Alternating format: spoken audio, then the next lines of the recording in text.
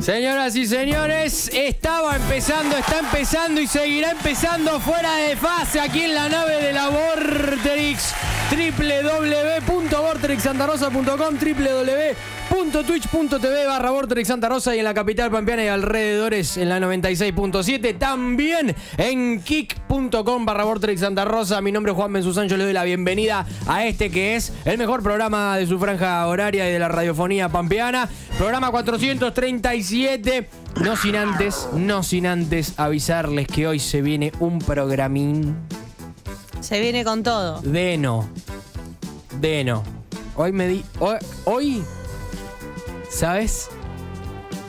Hoy encontré un- una cosa muy particular que se me ocurrió. ¿Sabes cómo me dicen? ¿Cómo te dicen? Se- Sopa instantánea. Por. Ay, no. ¿Por qué? Sopa instantánea. Porque en tres minutos me caliento. Hoy vengo así, ¿eh? Take it or leave it. Tiene dos Me- me- interpretaciones. It is eso. Me- Yo cuando lo leí me- eh, lo interpretaba de otra manera. No, no, no, no, no, no, no, no, no, no, no, no. Uno no, cuando sabe- lo no. leí estaba con otro sentido No, esa no, no, frase. ya va a venir. Que es ambigua. En otro, en otro bloque vamos a hablar de pornografía. Uno sabe que Juan está enojado porque se afeita. Correcto, correcto. Para mí está correcto. enojado me porque se enojo me tuvo que afeitar. Eh, No te ras.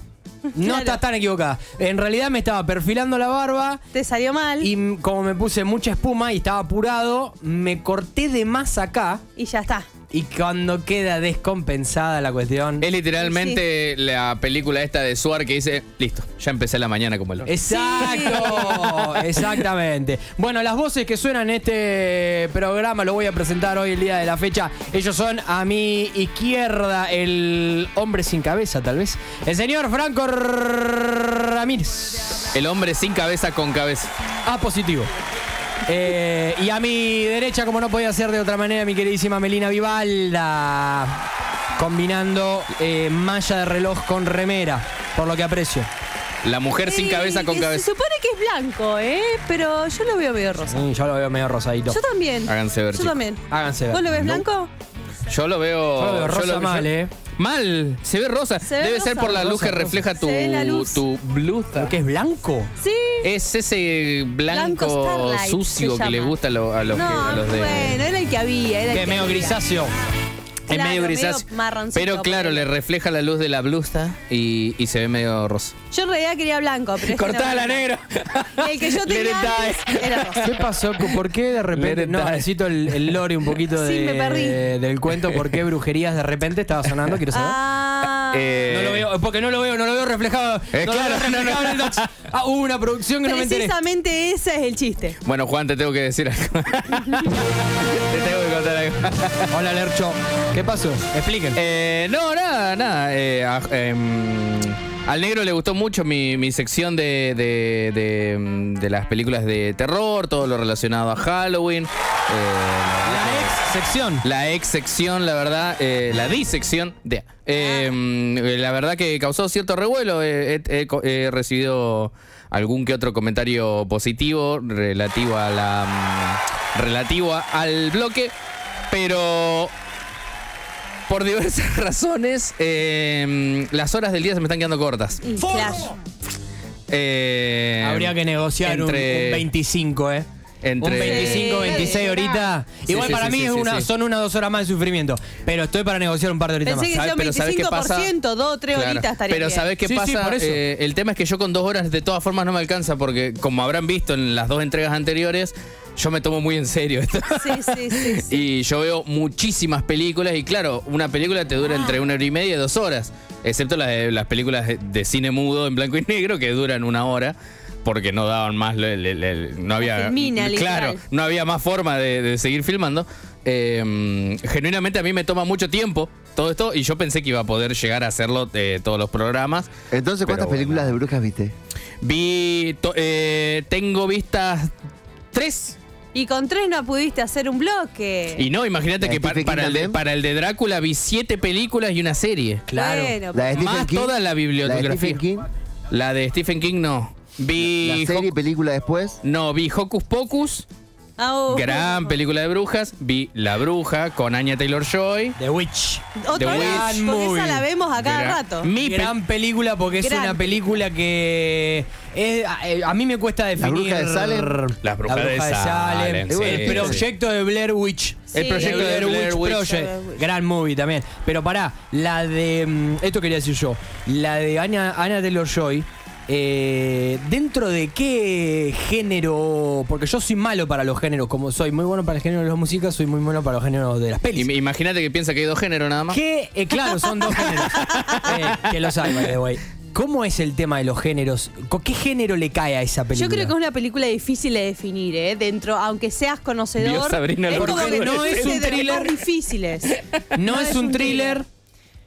Eh, eh, mm, suspenso tampoco es. La película de The Witch No es una peli de terror. A mí no me vengan con pavaditas. es lo que se cataloga luego de justamente una otra gran película de bruja que fue el proyecto Blair Witch, el proyecto de la bruja de Blair. Sí. Con esa película en aquel año, si, no me si mal no me acuerdo, 1994, 1992, aprox, por ahí, después los chicos me van a de- desasnar ahí con la compu más velozmente, eh, nace todo una saga de cine de terror que se le pone el nombre de psicológico. Es ese tipo de terror que no es el Me gusta. típico terror jumpscare, no es el típico terror que te salta a la cara y hace un ruido enorme. Eh, es, un, es un terror justamente mucho más tranquilo, mucho más pausado, Ay, a mí me encanta. en el que no te muestran el monstruo de una. Es más, hay películas enteras en las que no aparece nunca el monstruo. Sí. Que, spoiler alert, como el caso del proyecto de la bruja de Blair. Exacto. eh, que no aparece nunca. Eh, eh, son, eh, em, es mi tipo de, de terror favorito. Sí, te, te va maquinando la cabeza y te va haciendo la cabeza Sí. de, uy, a ver, ¿qué pasa? ¿Qué no pasa? O sea, apela, por momentos apela al... A mí algo que me gusta de las películas es cuando apelan al preconcepto de algo. Por ejemplo, se usa muy bien el recurso de la cabra en la Claro. película Claro. de, de Sí. The Witch.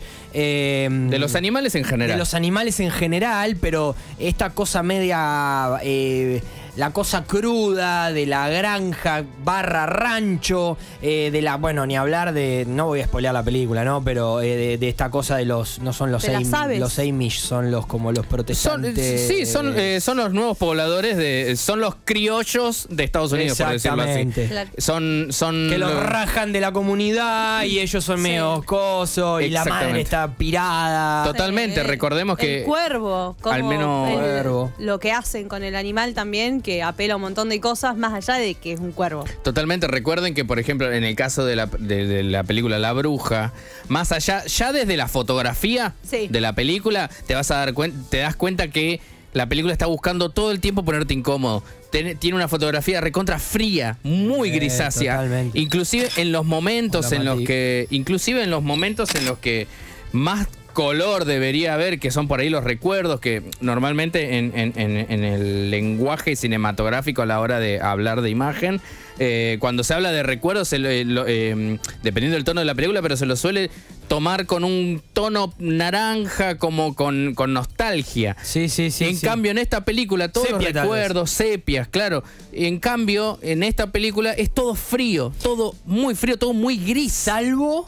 bien, pero fíjate porque estoy pensando y recordando. Lo que pasa es que, bueno, no, no le- la gente realmente que no vio el de The Witch. Se están de perdiendo una gran Taylor-Joy, Se película. están perdiendo una gran movie. Además, véanla porque no da tanto Eh, miedo. Si vos sos de esas personas no que le da miedo el No, terror. no, de vuelta a lo que voy, no, da es- miedo. no o es- sea, Totalmente. Te pone eh, medio incómodo, tiene escenas, pero no es de terror. Se puede, la escena, puede ver cualquier persona. Justamente lo que yo iba a decir eh, es que la escena que más te hace sacar los ojos de la pantalla es la que más color tiene.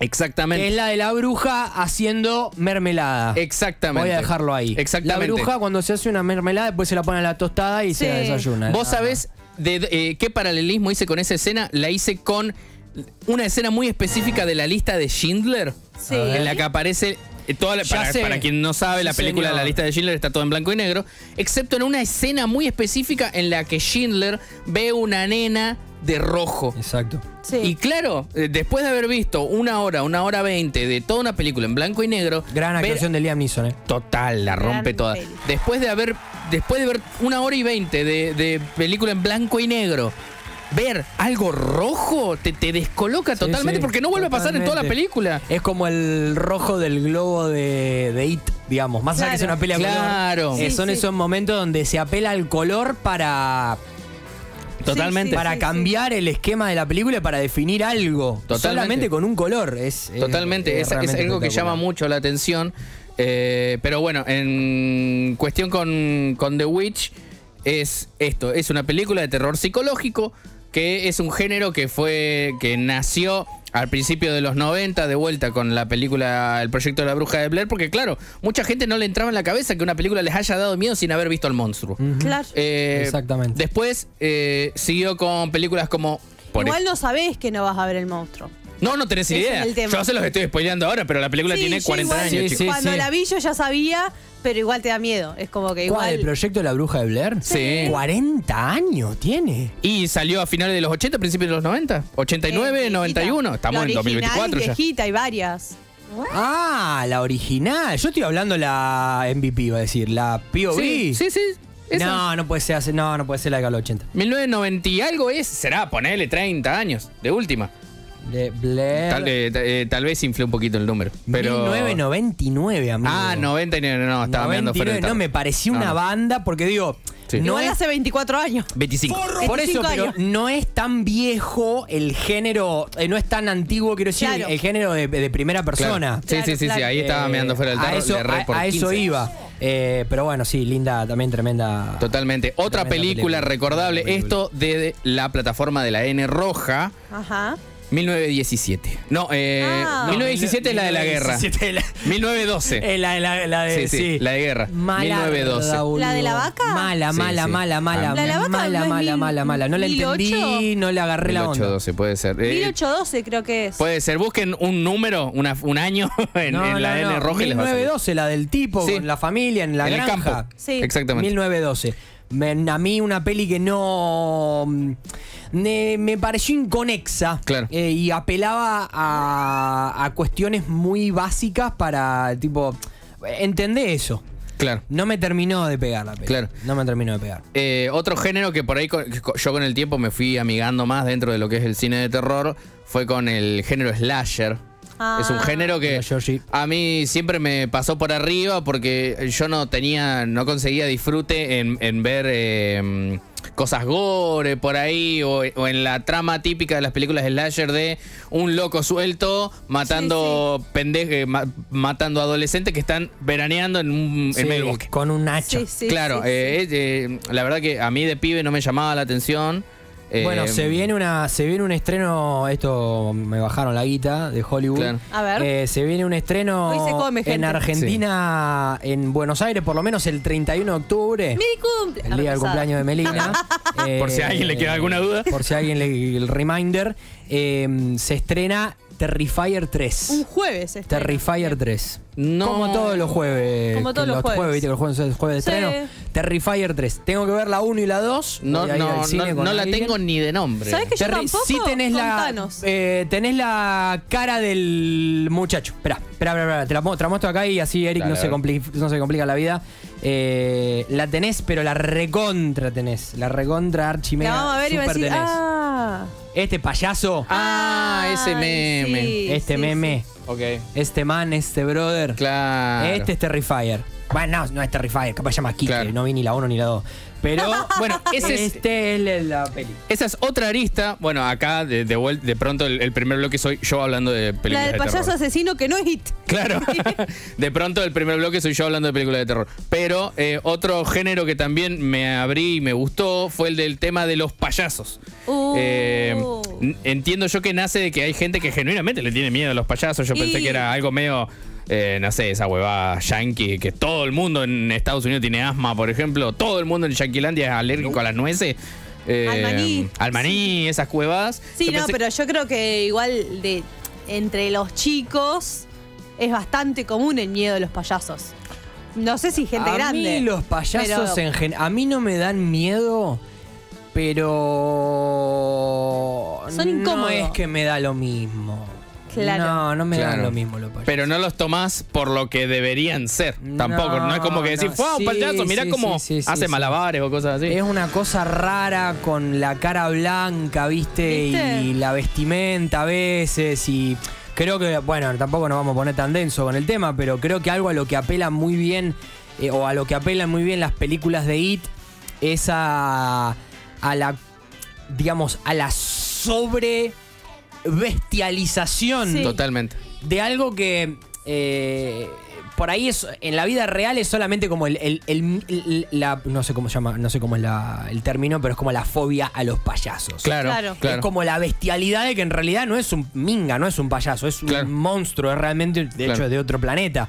Eh, entonces, eh, eso es lo que a mí me, me- me- me mata y hay una escena brutal, de, creo que es la última de, de It, eh, La de la diapositiva. que es cuando él empieza a moverse así y la cámara está Oh, fijada en la sí, cabeza del chabón. Sí, sí, sí, sí, sí, Ay, esa escena Gran me arruina, boludo. Me arruina porque tiene un movimiento tan. O sea, es antropomorfio o antropomórfico, pero es tan anormal como lo hace y está tan bien editado que te, te, te, te saca, te pone. Te, te saca eso. boludo. Totalmente. Y acá, negro, prepárate el, el himno de Argentina, porque el director de las dos Sí, nuevas de IT argentino. es No. argentino. Es Es Damián Estagnaro, viejo. Sí, sí, sí, sí, No, sí. Damián Estagnaro no, le, le estoy cagando. Damián Estagnaro es el director de Aterrados y de. Ah. eh, Aterrados y acecha- acecha- a- a- cuando acecha cuan- la maldad. Cuando acecha Evil la Lurks. payasa. Exactamente. Eh, cuestión, otra película de, de- de payasos asesinos. Que yo- Muschietti. Andy Muschietti. ahí Andrés está. Muschietti. Eh, otra película de payasos asesinos que tengo ganas de ver, que es una saga. Es payasos asesinos. Claro. que, eh, que me lo recomendó justamente mi mejor, uno de mis mejores amigos. Es eh, Killer Clowns from Outer Space. Ah. Que es a payasos asesinos de- de- del El espacio, espacio exterior. exterior. Es, son justamente. La trama es que vienen bichos y que llegan, a, llegan al planeta Tierra justo en, un- en, un- en una feria yankee. Y para pasar desapercibidos se transforman en lo primero que ven. Y justo lo primero que ven es un payaso. Sí. Y bueno, nada, van haciendo sus fechorías. Eso es todo lo que sé de la película porque no la vi. ¿Pero Así es que- tipo graciosa o es tipo terror? No, no, ¿O es. es qué eh, no lo sé. sería? No lo Ah, sé. Eh, tal vez sea medio slasher, tal vez sea terror gore, tal vez sea eh, este terror lúdico de lo, de lo que les hablaba el primer, el primer, la primera entrega del FDF Spooky. Eh, pero bueno, eh, si llego a conseguir horas, necesito horas, cualquiera, las tuyas. No, con mis horas no, me- no te metas. Si llego a conseguir horas, esto va a seguir en tanto y en cuanto nada de, Bueno, pueda dejar de dormir. Hablando de, hablando de cuestiones así violentas Sí. o, o- o cuestiones que nos generan este, miedo a través de la violencia, tal vez a veces de repente, de manera inmediata. eh, yo tenía ganas hoy de charlar algo loco que, digo, la verdad que no, no, no voy a traer ninguna noticia porque me di cuenta Sí. que todas las noticias que estaba este, ¿Encontrando? encontrando las estaba viendo mucho por Twitter. Ajá. Y todos sabemos que Twitter es el hoyito del diablo por definición, donde... sí. La cloaca de internet. Toda la, la- digamos, la, desde el anonimato, desde la cobardía, desde, la, desde el menoscabo, eh, desde el complejos de inferioridad y superioridad, la gente va, Totalmente. va e interactúa con las cosas.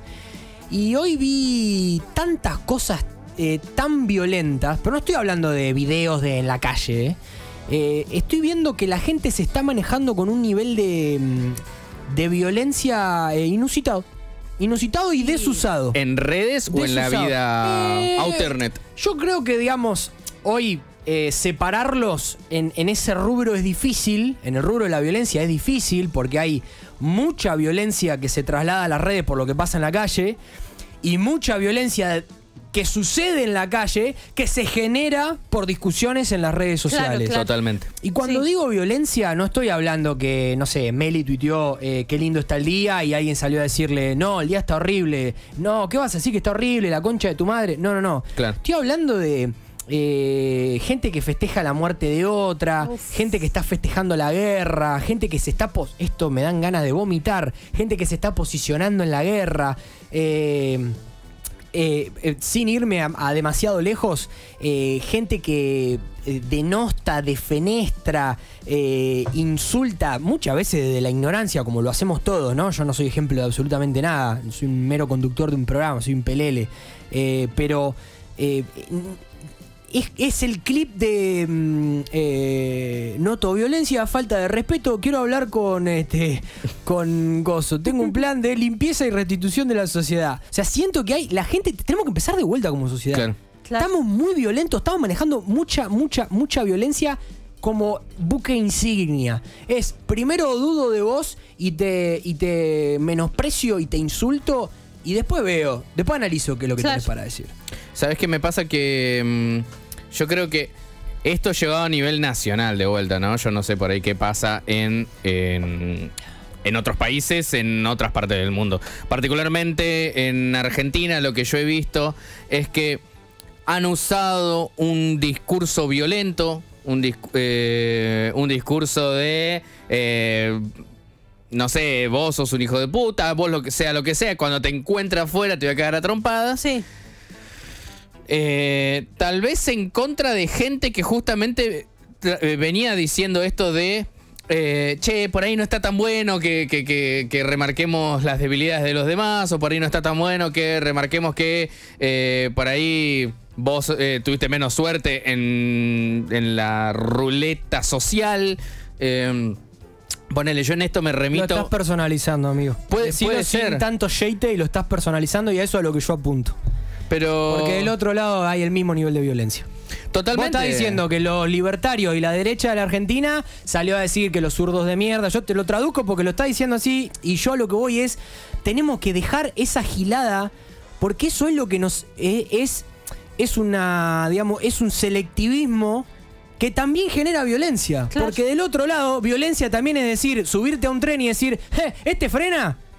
Eso también es violencia. Todo es violencia. O sea, no nos lo- obviamente que viene da capo, que viene de arriba, que viene de Milei, que viene de Cristina, que viene de los diputados, que viene de los periodistas, que viene de los senadores, que viene de los formadores de opinión, que viene de la gente que hace radio. Yo lo que digo es no puede ser la primera herramienta que se tenga a mano la violencia, loco.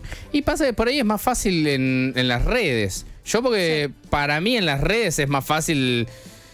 De vuelta, eh, eh, eh, hay, justamente un meme hablando de eso, que, una persona le pone un argumento así de largo de 25 renglones y el otro le pone, mm, no, tu argumento no vale porque, no sé, perteneces a, algo que no me gusta o algo en lo que estoy en contra o algo en lo que yo particularmente creo que no vale lo mismo. Igual yo creo que a través de las redes sociales la gente es mucho más violenta que si tuviera la persona cara a cara. Siento Sí. que pasa lo mismo con el tránsito. Las personas no se chocan en la calle caminando y Claro. sin embargo se chocan en el auto. Tiene que ver con la despersonalización y que no identificás al otro como alguien igual a vos. Y yo creo que ahí, en esa otredad, está el problema de base, de que vos, siempre hay un otro del otro lado y haga lo que haga en contra de ese otro, está todo validado y cualquier cosa vale. Y a dónde pones el otro es cada vez más cerca, porque el otro es otro en medida de que puede ser tu hermano, puede ser otra familia, puede ser otra clase, puede ser otro donde pongas la categoría.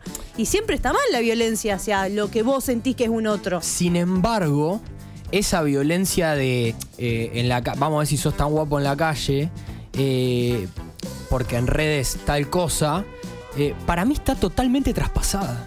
Vos decís que ya se pasó sí, de está las totalmente redes a la traspasada. realidad. Está totalmente traspasada. Puede ser. Totalmente Hay mucha traspasada. violencia en la vida cotidiana. Al punto de que sabemos que a los, digamos, eh, eh, gran parte de esto tiene que ver con la política, gran parte Sí. de esto tiene que ver con la política, eh, y sabemos que comunicadores de un lado y del otro eh, han sido violentados numerosas veces en la calle sin la necesidad de que le metan un tiro, un No, cuetazo, claro. un cuchillazo, porque gracias a Dios esa etapa creemos que la estamos dejando atrás, o uno creería que querría creer que la hemos dejado atrás. Sin embargo, eh, sigue estando igual de mal. Sí, O sea, tenemos que volver sí. a analizar eso y a replantear eso de que eh, esa gilada de. Y acá lo, digamos, lo, personalizo porque es el ejemplo que se me viene a la mente. Eh, un boludito cara de bebé que no sé quién es, ni, ni me interesa el nombre, pero sé que milita para el, para el partido de Milei. eh, que no sé si fue en la marcha de la universidad últimamente, creo que fue en esa. eh, eh, van, lo apretan en la calle. Y, digo, loco, o sea. Yo entiendo que eh, haya una cuestión de decir qué haces acá si tu discurso va en contra de esta, de esta, digamos, concentración de gente, de este reclamo, de este etcétera, etcétera, etcétera. Eso no lo priva de poder estar en la calle. Ni muchísimo menos le da a ustedes el, el, el, este, Derecho. el derecho de ir y violentar a un tipo que no tiene nada que ver, un pibe que ni pincha ni corta. Que es un pelafután que dentro de 10 años no vamos a ver, no, ni nos vamos a acordar quién era. Por eso yo digo que la violencia de las redes eh, es el caldo de cultivo de lo que pasa en la calle. Claro. Y lo que pasa en la calle es el caldo de cultivo de lo que pasa en las redes. No sé en qué porcentaje. Claro, Pero está claro. desbandada la cosa. Está desbandada. Negro, ponete el clipcito que te mandé. Necesito que me presenten urgente a Aldo Rico, quiero conversar con él, presentarle un proyecto que tengo. Proyecto de limpieza y reducción de la sociedad. Hay que barajar y dar de nuevo, muchachos, hay que volver a las ¿Qué bases. coroniti? Sí. Noto tristeza y violencia, falta de respeto. Necesito que. Está perfecto. Está, lo de saneamiento y limpieza no. Pero Claro. eh, violencia y falta de respeto, de tristeza, como, como eh, vamos con eso. Sí, sí, sí. vamos sí, con sí. eso. Eh, a mí me parece tremendo, loco. Y- des- desesperanzado. Yo creo que es parte de esto que vos decías hace un rato de la polarización del discurso. Justamente parte de la polarización no es solamente yo pienso esto, vos pensás exactamente lo contrario, sino que yo defiendo es, eh, o sea, la, eh, la defensa de mi punto es directamente proporcional con cuánto eh, cuán polarizado está mi opinión. Claro. Yo mientras más polarizado en mi opinión esté, más violentamente voy a defender mi punto. Claro.